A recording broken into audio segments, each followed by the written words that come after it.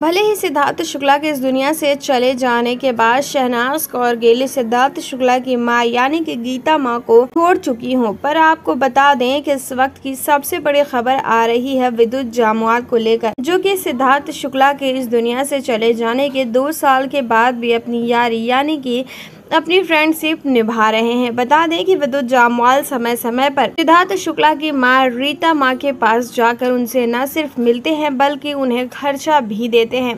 अभी हाल फ़िलहाल में है मीडिया रिपोर्टर्स के अनुसार विद्युत जामवाल को सिद्धार्थ शुक्ला की माँ के साथ स्पॉट किया गया है और साथ ही उनकी माँ विद्युत के साथ काफ़ी ज़्यादा खुश नज़र आ रही हैं। बताया जा रहा है कि जो काम शहनाज कौरगिल को करना चाहिए था, वो विद्युत जामवाल कर रहे हैं। सिद्धार्थ शुक्ला की बहनों को सिद्धार्थ शुक्ला की याद उनकी राखी पर भी आई, पर शहनाज कौरगिल ने ज़रूरी नहीं समझा उनके घर जाकर उन्हें थोड़ी सिंपत्ति देने का।